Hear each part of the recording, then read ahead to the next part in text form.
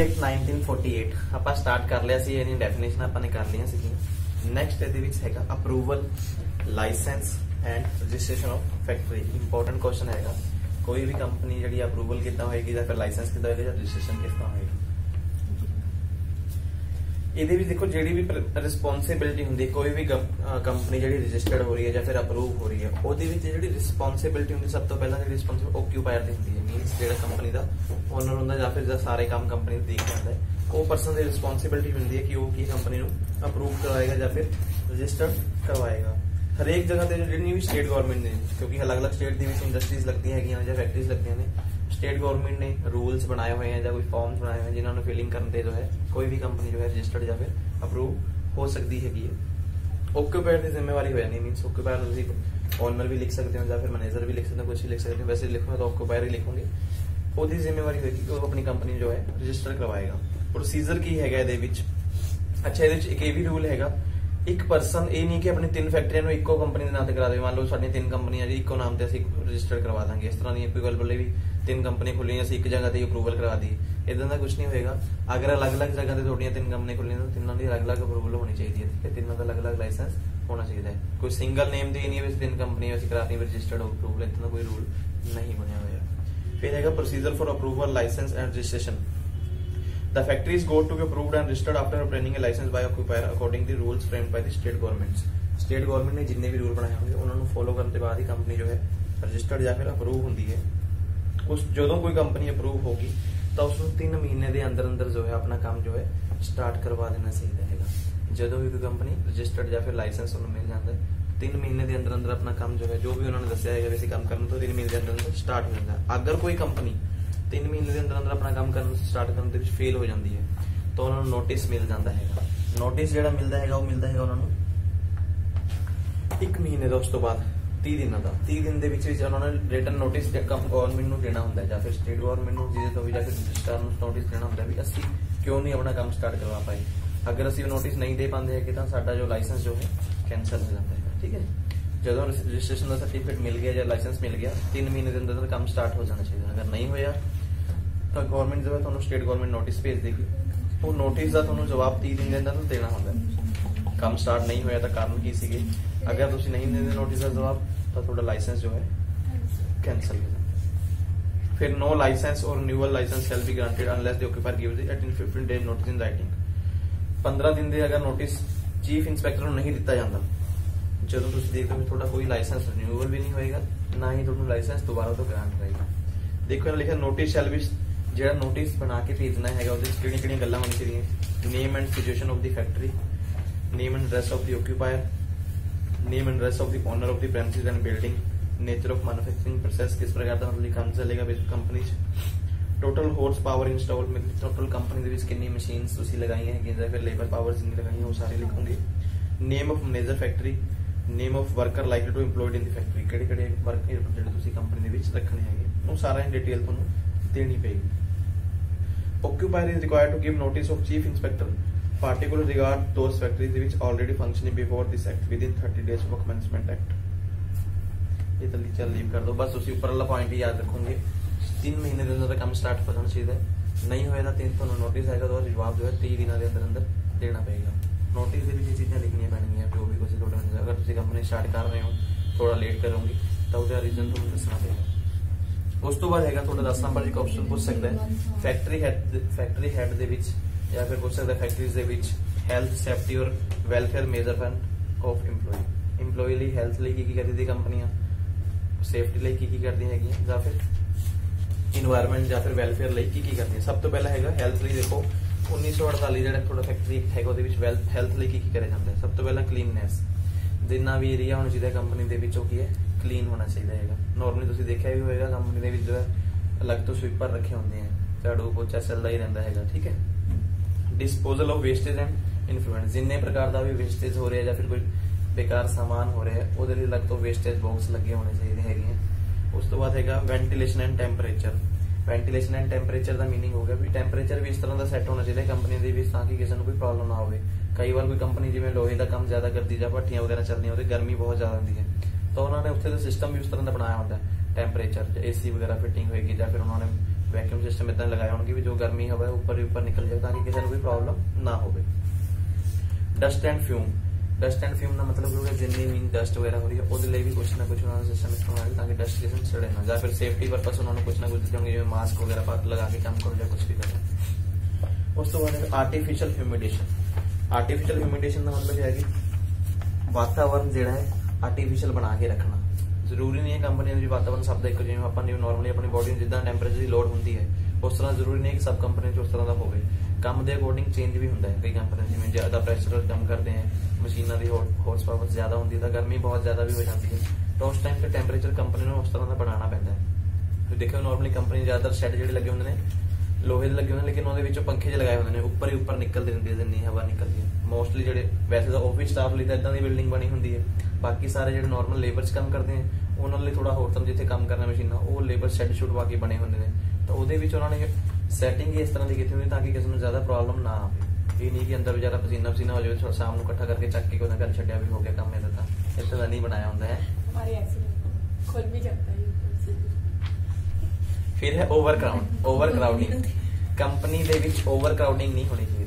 ਕੋਈ ਵੀ ਕੰਮ ਕਰਨ ਵਾਲੀ ਜਗ੍ਹਾ ਹੈ ਤਾਂ ਉੱਥੇ ਸਿਸਟਮ ਬਣਿਆ ਹੋਣਾ ਚਾਹੀਦਾ ਵੀ ਇਸ ਜਗ੍ਹਾ ਤੇ ਇੰਨੇ ਬੰਦੇ ਕੰਮ ਕਰ ਰਹੇ, ਇਸ ਜਗ੍ਹਾ ਤੇ ਇੰਨੇ ਬੰਦੇ। ਕੀ ਨਹੀਂ ਕਿ ਭੀੜ ਇਕੱਠੀ ਕਰਕੇ ਇੱਕ ਵਾਰੀ ਗੇਟ ਤੇ ਇਕੱਠੀ ਕਰੀ ਛੱਡਤੀ ਜਾਓ ਵੀ ਜਿੱਥੇ ਜਾ ਕੇ ਲੋੜ ਲੜ ਇਦਾਂ ਦਾ ਵੀ ਕੰਮ ਨਹੀਂ ਹੋਣਾ ਚਾਹੀਦਾ। ਫਿਰ ਤਾਂ ਕੁਝ ਤੋੜ ਤੜਾਈਆ ਹੀ ਕਰਨਗੇ ਜਾ ਕੇ। ਫਿਰ ਹੈ ਲਾਈਟਿੰਗ ਲਾਈਟਿੰਗ ਦੇ ਵੀ ਪ੍ਰੋਪਰ ਉੱਥੇ ਕੰਮ ਹੋਣਾ ਚਾਹੀਦਾ ਹੈ। ਜਿੱਥੇ ਜਿੱਥੇ ਲਾਈਟਿੰਗ ਦੀ ਲੋੜ ਹੈਗੀ ਹੈ ਉੱਥੇ ਬੰਦਾ ਆਸਾਨੀ ਨਾਲ ਕੰਮ ਕਰ ਸਕੇ। ਕੋਈ ਨਹੀਂ ਵਾਲੀ ਜਗ੍ਹਾ ਤੇ ਭੇਜੋ, ਜਾ ਵੀ ਫਾਈਲਾਂ ਲੱਭਿਆ। ਫਾਈਲਾਂ ਮਿਲਿਆ ਨਹੀਂ ਆਪ ਹੀ ਬਾਹਰ ਸ਼ੁਰੂ ਨਹੀਂ ਕੁਝ ਨਹੀਂ ਮਿਲਿਆ ਇਦਾਂ ਦਾ। ਡਰਿੰਕਿੰਗ ਵਾਟਰ ਡਰਿੰਕਿੰਗ ਵਾਟਰ ਦੀ ਫੈਸਿਲਿਟੀ ਵੀ ਆਲਵੇਜ਼ ਹੋਣੀ ਚਾਹੀਦੀ ਹੈ। ਅਗਰ ਕੰਪਨੀ ਮੰਨ ਲਓ ਤੁਹਾਡੀ ਪੂਰੀ ਅਰਾਊਂਡ ਬਣੀ ਹੋਈ ਹੈ ਤਾਂ ਚਾਰੋਂ ਦਿਸ਼ਾ ਦੇ ਵਿੱਚ ਜੋ ਹੈ ਪਾਣੀ ਦੀ ਫੈਸਿਲਿਟੀ ਹੋਣੀ ਚਾਹੀਦੀ ਹੈ ਜਿੱਥੇ ਬੰਦੇ ਨੂੰ ਪਾਣੀ ਲੋੜ ਹੋਵੇ ਉੱਥੇ ਜਾ ਕੇ ਪੀ ਸਕਦੇ conservative arrangement arrangement means arrangement ਉਹਦੇ ਲਈ ਹੋਣੀ ਚਾਹੀਦੀ ਹੈ ਖਾਣ ਪੀਣ ਦੇ ਅਰੇਂਜਮੈਂਟ ਜਿਵੇਂ ਕੈਂਟੀਨ ਵਗੈਰਾ ਸਭ ਕੁਝ ਹੋਣਾ ਚਾਹੀਦਾ ਤਾਂ ਕਿ ਉਹਨਾਂ ਨੂੰ ਕੋਈ ਪ੍ਰੋਬਲਮ ਨਾ ਹੋਵੇ। ਫਿਰ ਹੈਗਾ ਸਪੀਟਨਸ ਸਪੀਟਨਸ ਦਾ ਮਤਲਬ ਕੀ ਹੁੰਦਾ ਹੈ ਜਿਹੜੇ ਥੁੱਕਦੇ ਹੈਗੇ ਆ ਉਹਨਾਂ ਲਈ ਸਪੈਸ਼ਲ ਤੋਂ ਅਲੱਗ ਤੋਂ ਜਗ੍ਹਾ ਬਣੀ ਚਾਹੀਦੀ ਹੈ। ਇਹ ਨਹੀਂ ਕਿ ਜਿੱਥੇ ਮਰਜ਼ੀ ਬੈਠੇ ਚੱਲ ਸੇ ਬਈਆਂ ਦਾ ਕੰਮ ਨਹੀਂ ਹੋਣਾ ਚਾਹੀਦਾ ਪਾਇਆ ਗੁਟਕਾ ਮੁੱਛ ਜਿੱਥੇ ਜਿੱਥੇ ਦਾੜੀ ਰੰਡਾਰੀ ਉਦਾਂ ਦਾ ਵੀ ਕੰਮ ਨਾ ਹੋਵੇ ਠੀਕ ਹੈ? ਤਾਂ ਉਹਨਾਂ ਲਈ ਅਲੱਗ ਤੋਂ ਸਪਿਟਨਸ ਵਾਲੇ ਵੀ ਬਾਕਸ ਲੱਗੇ ਹੋਣੇ ਚਾਹੀਦੇ ਹੁੰਦੇ ਆ ਕੰਪਨੀ ਦੇ ਵਿੱਚ ਬਈ ਜਿਹਨੇ ਥੁੱਕਣਾ ਤਾਂ ਸਿਰਫ ਉੱਥੇ ਜਾ ਕੇ ਹੀ ਥੁੱਕੋ ਇਸ ਤਰ੍ਹਾਂ ਦਾ ਨਹੀਂ ਹੈ ਵੀ ਕੰਮ ਅੱਛਾ। ਫਿਰ ਹੈ ਫੋਰ ਸੇਫਟੀ ਹੈਲਥ ਤੋਂ ਬਾਅਦ ਹੈਲਥ ਤੋਂ ਬਾਅਦ ਹੁੰਦਾ ਸੇਫਟੀ ਸੇਫਟੀ ਦੇ ਵਿੱਚ ਹੈਗਾ ਫੈਂਚਿੰਗ ਆਫ ਮਸ਼ੀਨਰੀ ਮਸ਼ੀਨਰੀ ਦੀ ਫੈਂਚਿੰਗ ਜਿਹੜੀਆਂ ਮਸ਼ੀਨਰੀਜ਼ ਹੈਗੀਆਂ ਉਹਨਾਂ ਦੇ ਸੇਫਟੀ ਨੋਟਿਸ ਸਾਰਾ ਨਾਲ ਲੱਗਿਆ ਹੋਣਾ ਚਾਹੀਦਾ ਨੇ। ਮਸ਼ੀਨਰੀ ਕਿੱਦਾਂ ਇੰਸਟਾਲ ਹੋਏਗੀ। ਕੋਈ ਇਦਾਂ ਦੀ ਮਸ਼ੀਨਰੀ ਵੀ ਹੁੰਦੀ ਹੈ ਜਿਨ੍ਹਾਂ ਦੇ ਵਿੱਚ ਕੀ ਹੈ ਸਾਰਾ ਹੁੰਦਾ ਤਾਂ ਆਟੋ ਮੋਡ ਤੇ ਹੀ ਹੈ, ਲੇਕਿਨ ਉਹਨਾਂ ਦੇ ਵੀ ਸਾਨੂੰ ਕੁਝ ਨਾ ਕੁਝ ਜਿਵੇਂ ਟਾਈਮ ਟੂ ਟਾਈਮ ਹੱਥ ਨਾਲ ਕੰਮ ਥੋੜਾ ਬਹੁਤ ਕਰਨਾ ਪੈਂਦਾ ਤਾਂ ਉਹ ਸੇਫਟੀ ਰੂਲਸ ਜਾਂ ਸੇਫਟੀ ਗਲਵਸ ਵਗੈਰਾ ਸਭ ਕੁਝ ਨਾਲ ਅਵੇਲੇਬਲ ਹੋਣਾ ਚਾਹੀਦਾ ਹੈਗਾ। Work hours or near machinery in motion work ਕਿੰਨਾ ਟਾਈਮ ਜੋ ਮਸ਼ੀਨਰੀ ਜਿਹੜੀ ਕੰਮ ਕਰ ਰਹੀ ਹੈ ਕਿੰਨਾ ਟਾਈਮ ਕਿਕ ਲੇਬਰ ਨੂੰ ਮਸ਼ੀਨਰੀ ਦੇ ਉੱਪਰ ਕੰਮ ਕਰਨਾ ਚਾਹੀਦਾ ਹੈ। ਇਹ ਕਿ ਲਗਾਤਾਰ ਹੀ ਬੰਦਾ ਉਹਦੇ ਤੇ ਕੰਮ ਕਰਦਾ ਰਹੇ, ਵਿੱਚ ਉਹਨੂੰ ਬ੍ਰੇਕ ਵੀ ਹੋਣੀ ਚਾਹੀਦੀ ਹੈ। ਚਾਹ ਦੀ ਜਾਂ ਰੋਟੀ ਖਾਣ ਦੀ ਪਰਮਾਨੈਂਟ ਕੋਈ ਵੀ ਵਰਕ ਮਸ਼ੀਨਰੀ ਦੇ ਉੱਪਰ ਕੰਮ ਬੰਦਾ ਨਾ ਕਰੇ। Employment of young person in dangerous machine ਜਿੰਨੀ ਵੀ ਡੇਂਜਰਸ ਮਸ਼ੀਨ ਕੰਪਨੀਆਂ ਦੇ ਵਿੱਚ ਲੱਗੇ ਹੁੰਦੇ ਉਹਨਾਂ ਸਿਰਫ ਯੰਗ ਪਰਸਨ ਹੀ ਹੋਣ, ਜਿਨ੍ਹਾਂ ਨੂੰ ਪਬਜੀ ਵਗੈਰਾ ਚਲਾਣੀ ਆਉਂਦੀ ਹੋਵੇ, ਹੋਰ ਕੋਈ ਉੱਥੇ ਨਾ ਖੇਡੇ। ਠੀਕ ਹੈ? ਅਦਰਵਾਈਜ਼ ਨੁਕਸਾਨ ਵੀ ਹੋ ਸਕਦਾ ਹੈ। ਸੈਲਫ ਐਕਟਿੰਗ ਮਸ਼ੀਨ ਮਸ਼ੀਨਰੀ ਜਿਹੜੀ ਨਾਰਮਲ ਸੈਲਫ ਐਕਟਿੰਗ ਹੋਣੀ ਚਾਹੀਦੀ ਵਿਦਆਊਟ ਇਹ ਨਹੀਂ ਕਿ ਮਸ਼ੀਨ ਜੋ ਅਸੀਂ ਕੰਪਨੀ ਲਿਆ ਕੇ ਰੱਖਤੀ, ਉਹਨੂੰ ਪੰਜ ਬੰਦੇ ਘੁਮਾ ਰਹੇ ਨੇ, ਤਾਂ ਚੱਲ ਰਹੀ ਹੈ ਮਸ਼ੀਨ ਇਸ ਤਰ੍ਹਾਂ ਦੀ ਕੋਈ ਮਸ਼ੀਨ ਵੀ ਨਾ ਹੋਵੇ। ਆਪਣੇ ਆਪ ਹੀ ਚੱਲਣ ਵਾਲੀਆਂ ਮਸ਼ੀਨਸ ਹੋਣੀ ਚਾਹੀਦੀਆਂ। ਸਿਰਫ ਆਪਾਂ ਨੂੰ ਜਿਹੜੀ ਟਾਈਮਿੰਗ ਸੈੱਟ ਕਰਨੀ ਹੋਵੇ ਜਾਂ ਕਦੋਂ ਬੰਦ ਕਰਨੀ, ਕਦੋਂ ਚਲਾਣੀ ਹੈ, ਜਾਂ ਕੋਈ ਕਿਦਾਂ ਦੀ ਗਰੀਸ ਵਗੈਰਾ ਦੀ ਲੋਡ ਪੈਂਦੀ, ਉਦਾਂ ਦੀ ਮਸ਼ੀਨ ਹੋਣੀ ਚਾਹੀਦੀ striking gear and device from cutting of powers ਹਮੇਸ਼ਾ ਮਸ਼ੀਨ ਦੇ ਉੱਪਰ ਜੋ ਹੈ ਕਟਿੰਗ ਪਾਵਰ ਵਾਲੇ ਬਟਨ ਵਗੈਰਾ ਵੀ ਹੋਣੇ ਚਾਹੀਦੇ ਹੈ ਕਈ ਵਾਰ ਕੋਈ ਇਦਾਂ ਦੀ ਮਿਸ ਹੈਪਨਿੰਗ ਨਾਲ ਦੇ ਬੰਦਾ ਕੱਟਦਾ ਕਰ ਦਵੇ ਨਾ ਹੋਵੇ ਮਸ਼ੀਨ ਚੱਲਦੀ ਰਹੇ, ਬੰਦਾ ਜਦ ਤੱਕ ਖਤਮ ਹੋ ਜਾਵੇ, ਉਦੋਂ ਹੀ ਕੱਟਿਆ ਜਾਵੇ ਇਦਾਂ ਦੀ ਵੀ ਨਾ ਹੋਵੇ। Casing of new machine always ਕੋਸ਼ਿਸ਼ ਕਰਨੀ ਚਾਹੀਦੀ ਮਸ਼ੀਨਰੀ ਜਿਹੜੀ ਨਵੀਂ ਹੋਣੀ ਚਾਹੀਦੀ ਹੈ ਜਿੰਨੀਆਂ ਪੁਰਾਣੀ ਮਸ਼ੀਨਰੀਜ਼ ਹੁੰਦੀਆਂ ਕੰਪਨੀ ਜੋ ਜ਼ਿਆਦਾਤਰ ਨੁਕਸਾਨ ਕਰਨਾ ਸਟਾਰਟ ਕਰ ਦਿੰਦੀ ਤਾਂ ਮਸ਼ੀਨਰੀ ਮੋਸਟ ਕੋਸ਼ਿਸ਼ ਇਹ ਹੁੰਦੀ ਕਿ ਕਾਲਸ ਨਵੀਂ ਮਸ਼ੀਨਰੀ ਹੁੰਦੀ prohibition of employment of women and children near cotton operation cotton opener ladies ਜਾਂ ਫਿਰ ਬੱਚਿਆਂ ਨੂੰ ਜੋ ਕਾਟਨ ਕਾਟਨ ਓਪਨਰ ਦੀ ਮਸ਼ੀਨਾਂ ਦੇ ਕੋਲ ਨਹੀਂ ਹੋਣਾ ਚਾਹੀਦਾ। ਜਿਹੜੀ ਕਾਟਨ ਦੀ ਜ਼ਿਆਦਾਤਰ ਕੀ ਜਿਹੜੀ ਕਾਟਨ ਜੋ ਜਲਦੀ ਜਲਦੀ ਚੜਦੀ ਹੈਗੀ ਤਾਂ ਉਹਨਾਂ ਦੇ ਕੋਲ ਨਹੀਂ ਹੋਣਾ ਚਾਹੀਦਾ। ਰਸਟ ਕਾਟਨ ਓਪਨਰ ਹੁੰਦੇ ਆ, ਜਿਹੜੇ ਕਪਾਹ ਵਗੈਰਾ ਦਾ ਕੰਮ ਕਰਦੇ ਆ, ਰੂਹ ਵਗੈਰਾ ਦੀ ਮਸ਼ੀਨਾਂ ਹੁੰਦੀਆਂ ਨਾ, ਉਹਦੇ ਵਿੱਚ ਕਹਿੰਦਾ ਲੇਡੀਜ਼ ਔਰ ਬੱਚਿਆਂ ਨੂੰ ਕੰਮ ਨਹੀਂ ਕਰਵਾਉਣਾ ਚਾਹੀਦਾ ਉਸ ਜਗ੍ਹਾ ਤੇ। ਜਿਹੜੀ ਉਹ ਜਦੋਂ ਧੂਆਂ ਉੱਡਦਾ ਨਾ, ਉਹ ਜਲਦੀ, ਬਹੁਤ ਜਲਦੀ ਚੜਦਾ ਹੈਗਾ ਮੀਨਸ ਅੰਦਰ ਜਾਂਦਾ। ਜੈਂਟ ਦੀ ਥੋੜੀ ਸਹਿਣ ਸ਼ਕਤੀ ਜ਼ਿਆਦਾ ਹੁੰਦੀ, ਇਸ ਲਈ ਕਹਿੰਦੇ ਉਹਨਾਂ ਨੂੰ ਹੀ ਕੰਮ ਕਰਾਓ, ਮਰਨਗੇ ਤਾਂ ਮਰੀ ਜਾਣਗੇ। ਰਿਵੋਲਵਿੰਗ ਮਸ਼ੀਨਰੀ ਮਸ਼ੀਨਰੀ ਜੋ ਹੈ ਆਲਵੇਸ ਰਿਵੋਲਵਿੰਗ ਹੋਣੀ ਚਾਹੀਦੀ ਇਹ ਨਹੀਂ ਕਿ ਇਕੱਲਾ ਪਰਸਨ ਹੀ ਉਹਦੇ ਕੰਮ ਕਰਦਾ ਮਸ਼ੀਨ ਜੋ ਹੈ ਖੁਦ ਆਪਣੇ ਕੰਮ ਕਰੇ। ਜਿੱਥੇ ਹੈਲਪ ਦੀ ਲੋੜ ਹੋਵੇ, ਉੱਥੇ ਸਿਰਫ ਪਰਸਨ ਜੋ ਹੈ ਆਪਣੀ ਮੀਨਸ ਉਹਦੀ ਸੈਟਿੰਗ ਸ਼ੂਟਿੰਗ ਕਰਦੇ, ਉਹਦੇ ਲਈ ਲੋੜ ਹੋਣੀ ਚਾਹੀਦੀ ਉਸ ਤੋਂ ਬਾਅਦ ਹੈਗਾ ਪ੍ਰੈਸ਼ਰ ਪਲਾਂਟ ਕੰਪਨੀ ਦੇ ਵਿੱਚ ਪ੍ਰੈਸ਼ਰ ਪਲਾਂਟ ਆਲਵੇਸ ਅਵੇਲੇਬਲ ਚਾਹੀਦਾ ਹੈ ਕੰਮ ਚੱਲਦੇ ਚੱਲਦੇ ਮੰਨ ਲਓ ਕੋਈ ਪ੍ਰੋਬਲਮ ਆ ਰਹੀ ਹੈ ਤਾਂ ਪ੍ਰੈਸ਼ਰ ਦੇ ਥਰੂ ਅਸੀਂ ਯੂਜ਼ ਕਰ ਸਕਦੇ ਹਾਂ। ਥਿੰਕ ਸੋ ਲਾਈਟਿੰਗ ਲਈ ਵੀ ਹੋ ਸਕਦਾ ਹੈ, ਫਿਰ ਹੋਰ ਜਿਸ ਚੀਜ਼ ਦੀ ਵੀ ਲੋੜ ਹੈ। Pits sump and opening in floors floor ਦੇ ਵਿੱਚ ਕੀ ਹੈ ਤੁਹਾਡੇ ਕੋਲ? ਇਸ ਪ੍ਰੋਬਲਮ ਹੋਣੀ ਚਾਹੀਦੀ ਸੰਪ ਮੀਨਸ ਪੰਪ ਵਗੈਰਾ ਵੀ ਹੋਣਾ ਚਾਹੀਦਾ ਜ਼ਮੀਨ ਦੇ ਵਿੱਚ ਹੀ ਸਾਰੀ ਸੈਟਿੰਗ ਹੋਣੀ ਚਾਹੀਦੀ ਇਹ ਨਹੀਂ ਕਿ ਕੋਈ ਚੀਜ਼ ਸਾਨੂੰ ਐਮਰਜੈਂਸੀ ਲੋੜ ਪਈ ਫਟਾਫਟ ਜਾ ਕੇ ਅਸੀਂ ਪਹਿਲਾਂ ਲੈ ਕੇ ਆਈਏ।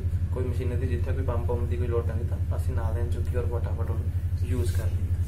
Precaution against dangerous fumes and gases ਜਿੰਨੀਆਂ ਕੰਪਨੀ ਦੇ ਵਿੱਚ ਗੈਸਿਸ ਜਾਂ ਫਿਰ ਕੁਝ ਹੋਰ ਪ੍ਰੋਬਲਮ ਅਸੀਂ ਫਿਊਮਸ ਵਗੈਰਾ ਯੂਜ਼ ਕਰਦੇ ਹਾਂ ਉਹਨਾਂ ਲਈ ਸੇਫਟੀ ਸਮਾਨ ਹੋਣਾ ਚਾਹੀਦਾ ਹੈ ਮੀਨਸ ਤੁਹਾਡੇ ਕੋਲ ਸੇਫਟੀ ਮਾਸਕ ਵਗੈਰਾ ਫਿੰਗਰ ਟਿਪਸ ਜਾਂ ਗਲਵਸ ਵਗੈਰਾ ਪਾਏ ਹੋਣੇ ਚਾਹੀਦੇ ਨੇ precaution against using portable electrical light ਜਿੰਨੀਆਂ ਇਲੈਕਟ੍ਰੀਕਲ ਲਾਈਟਸ ਆ ਉਹਨਾਂ ਲਈ ਵੀ ਪ੍ਰੀਕਾਸ਼ਨ ਹੋਣੀ ਚਾਹੀਦੀ ਹੈ ਵਿਦ ਮੀਨਸ ਤਾਰਾਂ ਵਗੈਰਾ ਓਪਨ ਨਾ ਹੋਣ ਵੀ ਨਾ ਤਾਰ ਇੱਥੇ ਪਈ ਅਸੀਂ ਨਾਲ ਬੈਠੇ ਕੰਮ ਕਰ ਰਹੇ ਹਾਂ ਇਸ ਤਰ੍ਹਾਂ ਦਾ ਕੁਝ ਨਾ ਹੋਵੇ ਸਭ ਜੋ ਹੈ ਅੰਡਰਗਰਾਉਂਡ ਫਿਟਿੰਗ ਵਗੈਰਾ ਹੋਣੀ ਚਾਹੀਦੀ ਹੈ ਐਕਸਪਲੋਸਿਵ ਆਫ ਇਨਫਲੇਬਲ ਮਟੀਰੀਅਲ ਜਿੰਨੀ ਵੀ ਚੀਜ਼ਾਂ ਨੂੰ ਜਿਹਨਾਂ ਨੂੰ ਅੱਗ ਉੱਗ ਲੱਗ ਸਕਦੀ ਹੈਗੀ ਹੈ ਉਹ ਸਾਰੀਆਂ ਚੀਜ਼ਾਂ ਸਾਡੇ ਪਹੁੰਚ ਤੋਂ ਦੂਰ ਹੋਣੀ ਚਾਹੀਦੀਆਂ ਸਿਰਫ ਸੇਫਟੀ ਪਰਪਸ ਦੇ ਜਿਹੜੇ ਸਿਲੰਡਰ ਵਗੈਰਾ ਲੱਗੇ ਹੁੰਦੇ ਆ ਉਹ ਹੋਣੇ ਚਾਹੀਦੇ ਨੇ। ਅਗਰ ਐਮਰਜੈਂਸੀ ਲੋੜ ਪਏ ਤਾਂ ਉਹਨੂੰ ਯੂਜ਼ ਕਰ ਸਕੀਏ। ਫਿਰ ਉਹਨੂੰ ਚਲਾਉਣ ਦਾ ਵੀ ਸਭ ਨੂੰ ਪਤਾ ਹੋਣਾ ਚਾਹੀਦਾ ਵੀ ਕਿਸ ਤਰ੍ਹਾਂ ਖੁੱਲੇ ਇਹ ਨਾ ਵੀ ਲੈ ਕੇ ਆ ਜਾਈਏ ਸਾਨੂੰ ਖੋਲਣਾ ਹੀ ਨਾ ਆਵੇ ਸਿਲੰਡਰ ਵੀ ਕਿਸ ਤਰ੍ਹਾਂ ਚੱਲਣਾ ਹੈਗਾ। ਠੀਕ ਹੈ ਥੱਲੇ ਮਾਰਨਾ ਪੈਗਾ precaution in the case of fire ਇਹ ਪੁਆਇੰਟ ਦੁਆਰਾ ਆ ਗਿਆ ਫਾਇਰ ਦਾ। ਅਗਰ ਅੱਗ ਲੱਗ ਜਾਂਦੀ ਹੈ ਤਾਂ ਉਹਦੇ ਲਈ ਵੀ ਸੇਫਟੀ ਸਿਲੰਡਰ ਤੁਹਾਡੇ ਕੋਲ ਆਲਵੇਸ ਅਵੇਲੇਬਲ ਹੋਣਾ ਚਾਹੀਦਾ ਔਰ ਚਲਾਣਾ ਉਹ ਸਿਰਫ ਅੱਗ ਦੇ ਉੱਪਰ ਹੀ ਹੈ ਇਹ ਨਹੀਂ ਕਿ ਬੰਦੇ ਕਨੀ ਕਰਕੇ ਚਲਾ ਦੋ safety of building and machinery building and machinery ਦੀ ਵੀ ਸੇਫਟੀ ਹੋਣੀ ਬਿਲਡਿੰਗ ਬਣੀ ਹੋਣੀ ਚਾਹੀਦੀ ਹੈ। ਇਹ ਨਹੀਂ ਕਿ ਉੱਥੇ ਬਿਲਡਿੰਗ ਕਿਹੜੀ ਟੁੱਟੀ ਹੈਗੀ ਅਸੀਂ ਉਹਦੇ ਵਿੱਚ ਕੰਮ ਕਰ ਰਹੇ ਹਾਂ। ਤਾਂ ਉਹਦੀ ਰਿਪੇਅਰ ਜੋ ਹੈ ਟਾਈਮ ਟੂ ਟਾਈਮ ਹੋ ਜਾਣੀ ਚਾਹੀਦੀ ਹੈ। ਮੇਨਟੇਨੈਂਸ ਆਫ ਬਿਲਡਿੰਗ ਹੈ ਵੀ ਉਹਦੇ ਪੁਆਇੰਟ ਦੁਆਰਾ ਆ ਜਾਏਗਾ। ਸੇਫਟੀ ਆਫੀਸਰ ਕੰਪਨੀ ਦੇ ਵਿੱਚ ਸੇਫਟੀ ਆਫੀਸਰ ਅਵੇਲੇਬਲ ਹੋਣਾ ਚਾਹੀਦਾ। ਤੁਸੀਂ ਦੇਖਿਆ ਵੀ ਸ਼ਾਇਦ ਕੰਪਨੀ ਦੇ ਸੇਫਟੀ ਡਿਪਾਰਟਮੈਂਟ ਲੱਗਦਾ ਹੁੰਦਾ ਹੈ। ਉਹਦੇ ਵਿੱਚ ਉਹਨਾਂ ਨੇ ਇੱਕ ਆਫੀਸਰ ਰੱਖਿਆ ਹੁੰਦਾ ਜੋ ਟਾਈਮ ਟੂ ਟਾਈਮ ਚੈੱਕ ਕਰਦਾ ਰਹਿੰਦਾ ਹੈ। ਉਹਦਾ ਬਸ ਕੰਮ ਇਹੀ ਹੁੰਦਾ ਘੁੰਮਦਾ ਰਹਿੰਦਾ ਦੇਖਦਾ ਰਹਿੰਦਾ ਵੀ ਕੌਣ ਬੰਦਾ ਸੇਫਟੀ ਜਿਵੇਂ ਹੁਣ ਕੋਈ ਲੇਬਰ ਕੰਮ ਕਰ ਰਹੀ ਉਹਨਾਂ ਨੂੰ ਗਲਵਸ ਵਗੈਰਾ ਦਿੱਤੇ ਹਨ ਸੇਫਟੀ ਮਾਸਕ ਦਿੱਤੇ ਹਨ ਅਗਰ ਉਹ ਨਹੀਂ ਪਾ ਕੇ ਕੰਮ ਕਰ ਰਹੇ ਤਾਂ ਉਹਨਾਂ ਨੂੰ ਉਠ- ਕੇ ਪੁੱਛਦਾ ਵੀ ਤੁਹਾਡੀ ਕੀ ਪ੍ਰੋਬਲਮ ਕਿਉਂ ਨਹੀਂ ਕਰ ਰਹੇ ਉਹ ਹੁੰਦੇ ਸਿਰਫ ਤੁਹਾਡੀ ਫੈਸਿਲਿਟੀ ਲਈ ਹੈਗੇ।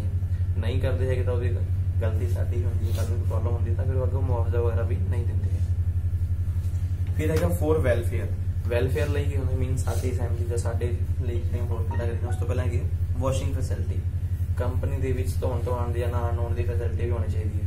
ਕਈ ਵਾਰ ਬੰਦਾ ਦਿਲ ਕਰੇ ਨਹਾਉਣਾ ਤਾਂ ਨਾ ਵੀ ਆਵੇ ਜਾ ਕੇ। ਇਸ ਤਰ੍ਹਾਂ ਦੀ ਜਾਂ ਕੱਪੜੇ ਕੁਪੜੇ ਧੋਣੇ ਧੋ ਲਏ ਕਈ ਵਾਰ ਇਦਾਂ ਦੇ ਕੰਮ ਨਹੀਂ ਹੈ ਤਾਂ ਕਹਿੰਦੇ ਚਲੋ ਕੰਪਨੀ ਦੇ ਕੱਪੜੇ ਧੋਣੇ ਤਾਂ ਉਹ ਵੀ ਧਵਾ ਲੈਂਦੇ ਆ ਕਿਸੇ ਦੇ। ਜਿਹਨੂੰ ਗਰਮੀ ਜ਼ਿਆਦਾ ਲੱਗਦੀ ਹੋਵੇ, ਉਹਨੂੰ ਵੀ ਕਹਿੰਦੇ ਜਾ ਨਾ ਫਟਾਫਟ। Also facility for storing and drying clothing ਜਿੰਨੇ ਵੀ ਤੁਹਾਡੇ ਕੋਲ ਡਰਾਈ ਕੱਪੜੇ ਹੈਗੇ ਆ, ਉਹਨਾਂ ਨੂੰ ਸਟੋਰ ਕਰਕੇ ਰੱਖਣਾ ਕੰਪਨੀ ਦੀ ਫੈਸਿਲਿਟੀ ਹੋਣੀ ਚਾਹੀਦੀ ਤੁਸੀਂ ਮੰਨ ਲਓ ਜਿਵੇਂ ਕਈ ਵਾਰ ਇਦਾਂ ਚੇਂਜਿੰਗ ਰੂਮ ਬਣੇ ਹੁੰਦੇ ਆ। ਅਸੀਂ ਜੋ ਡਰੈਸ ਪਾ ਕੇ ਜਾਏ ਕੰਪਨੀ ਦੇ ਵਿੱਚ ਉਦਾਂ ਦੇ ਕੰਮ ਨਹੀਂ ਉਹਨਾਂ ਨੂੰ ਦੂਸਰੀ ਡਰੈਸਾਂ ਮਿਲਦੀਆਂ ਹੈਗੀਆਂ। ਜ਼ਿਆਦਾਤਰ ਮੰਨ ਲਈ ਜੈਂਟਸ ਦੇ ਵਿੱਚ ਹੁੰਦੇ ਕੱਪੜੇ ਉਹਨਾਂ ਨੂੰ ਕੰਪਨੀ ਦੇ ਵਿੱਚ ਹੀ ਮਿਲਦੇ ਹੈਗੇ। ਫਿਰ ਉਹਨਾਂ ਲਈ ਉਹ ਆਪਣੇ ਕੱਪੜੇ ਅਲੱਗ ਜਗ੍ਹਾ ਤੇ ਰੱਖਣਾ ਚਾਹੀਦਾ ਰੱਖ ਕੇ ਕੰਪਨੀ ਵਾਲੀ ਡਰੈਸ ਪਾ ਕੇ ਉੱਤੇ ਕੰਮ ਕਰਨੇ ਜਿਵੇਂ ਕਿ ਮੰਨ ਲਓ ਉਹਨਾਂ ਨੂੰ ਲੈਦਰ ਦੇ ਜਾਂ ਪਲਾਸਟਿਕ ਦੇ ਸੂਟ ਮਿਲ ਜਾਂਦੇ ਕੋਈ ਜਿਹੜਾ ਲੋਹੇ ਦਾ ਜ਼ਿਆਦਾ ਗਰਮ ਕੰਮ ਕਰਦੇ ਉੱਥੇ ਉਹਨਾਂ ਨੂੰ ਲੋੜ ਪੈਂਦੀ ਹੈ। ਫੈਸਿਲਿਟੀ ਫॉर ਸਿਟਿੰਗ ਬੈਠਣ ਦੀ ਵਿਵਸਥਾ ਹੋਣੀ ਚਾਹੀਦੀ ਕੰਪਨੀ ਦੇ ਵਿੱਚ। ਇਹ ਨਹੀਂ ਕਿ ਜਿੱਥੇ ਮਰਜ਼ੀ ਲਿਟਦੇ ਫਿਰੀ ਚੱਲੋ। ਕਾ ਬਣਿਆ ਹੋਇਆ ਵੀ ਜਾਓ ਵੀ ਛੁੱਟੀ ਹੋ ਗਈ ਰੋਟੀ ਖਾਣੀ ਜਿੱਥੇ ਮਰਜ਼ੀ ਜਾ ਕੇ ਰੋਟੀ ਖਾਓ। ਇਦਾਂ ਦਾ ਕੁਝ ਨਹੀਂ ਹੋਣਾ ਚਾਹੀਦਾ। ਫਸਟ ਏਡ ਅਪਲਾਈਐਂਸਸ ਕੰਪਨੀ ਦੇ ਵਿੱਚ ਫਸਟ ਏਡ ਅਪਲਾਈਐਂਸਸ ਵੀ ਆਲਵੇਸ ਅਵੇਲੇਬਲ ਹੋਣੇ ਚਾਹੀਦੇ। ਇੱਕ ਨਹੀਂ ਬਹੁਤ ਜ਼ਿਆਦਾ ਹੋਣੇ ਚਾਹੀਦੇ। ਇਹ ਨਹੀਂ ਵੀ ਕੰਪਨੀ 'ਚ ਇੱਕ ਵੀ ਫਸਟ ਏਡ ਬਾਕਸ ਲੱਗਿਆ ਹੋਇਆ। ਹੈ, ਲੋੜ ਵੀ ਮਾਰੋ ਮਾਰ ਪੈ ਗਈ। ਇਦਾਂ ਦਾ ਵੀ ਨਾ ਹੋਵੇ। ਬਾਕਸ ਵੀ ਜੋ ਹੈ ਜ਼ਿਆਦਾ ਅਵੇਲੇਬਲ ਹੋਣੇ ਚਾਹੀਦੇ। ਕੈਂਟੀਨਸ ਖਾਣ ਪੀਣ ਦੀ ਸੁਵਿਧਾ ਵੀ ਹੋਣੀ ਚਾਹੀਦੀ ਹੈ। ਜਿੱਥੇ ਰੋਟੀ ਮੀਨਸ ਲੰਚ ਟਾਈਮ ਹੋਵੇ ਤਾਂ ਸਾਰੇ ਲੋਕ ਜਿਵੇਂ ਕੈਂਟੀਨ ਜਾ ਕੇ ਖਾਣ। ਹੋਰ ਸਸਤਾ ਵੀ ਹੋਣਾ ਚਾਹੀਦਾ ਖਾਣਾ। ਇਹ ਨਹੀਂ ਕਿ 50 ਰੁਪਏ ਦੀ ਪਲੇਟ ਹੈ ਵੀ ਜਾਓ ਅਗਲਾ ਕਦੇ ਰਹਿਣ ਮੈਂ ਘਰੇ ਖਾ ਲੂੰਗਾ ਜਾ ਸਕੇਗੀ ਇਹ ਵਾਲੀ shelter rooms and lunch rooms ਆਰਾਮ ਕਰਨ ਦੀ ਵਿਵਸਥਾ ਜਾਂ ਫਿਰ ਲੰਚ ਕਰਨ ਦੀ ਵਿਵਸਥਾ ਇਦਾਂ ਦੇ ਰੂਮ ਅਲੱਗ ਤੋਂ ਬਣੇ ਹੋਣੇ ਚਾਹੀਦੇ ਹਨ ਕ੍ਰਚਿਸ ਕ੍ਰਚਿਸ ਦਾ ਮਤਲਬ ਹੁੰਦਾ ਵੀ ਜਿਹੜੇ ਬੱਚੇ ਵੂਮਨਸ ਜਿਹੜੀਆਂ ਆਪਣੇ ਬੱਚੇ ਛੋਟੇ ਛੋਟੇ ਆ ਉਹਨਾਂ ਨੂੰ ਨਾਲ ਲਿਆਣ ਉੱਥੇ ਖਿਡੌਣੇ ਖਿਡੌਣੇ ਰੱਖੇ ਉਹਨਾਂ ਨਾਲ ਖੇਡਣੇ ਨਾ ਕਿ ਮਸ਼ੀਨ ਨਾਲ ਖੇਡਣ। ਇਹ ਵੀ ਨਾਲ ਵੀ ਆ ਜਿਹੜੀ ਮਸ਼ੀਨ ਨਾਲ ਖੇਡ ਲਓ ਹੈਨਾ? ਫਿਰ ਉਸ ਤੋਂ ਬਾਅਦ ਹੋ ਗਿਆ ਵੈਲਫੇਅਰ ਆਫੀਸਰ ਕੰਪਨੀ ਦੇ ਵਿੱਚ ਵੈਲਫੇਅਰ ਆਫੀਸਰ ਵੀ ਹੋਣੇ ਚਾਹੀਦੇ ਜਿਹੜੇ ਕਿ ਸਭ ਚੀਜ਼ਾਂ ਦਾ ਧਿਆਨ ਰੱਖਦੇ ਹਨ ਕੋਈ ਚੀਜ਼ ਦੀ ਪ੍ਰੋਬਲਮ ਆਈ ਤਾਂ ਉਹਨੂੰ ਵੀ ਨਾਲ ਲੈ ਕੇ ਚੱਲਣਾ ਇਹ ਨਾ ਹੋਵੇ ਪ੍ਰੋਬਲਮ ਆਈ, ਕੋਈ ਗੱਲ ਨਹੀਂ ਵੀ ਸੋਲਵ ਕਰ ਦਾਂਗੇ ਇਦਾਂ ਨਹੀਂ ਹੈ। ਟਾਈਮ ਟੂ ਟਾਈਮ ਜੋ ਹੈ ਸੋਲਵ ਕਰਨ ਦੀ ਲੋੜ ਪਏ ਤੁਹਾਨੂੰ ਸੋਲਵ ਵੀ ਕਰਨਾ।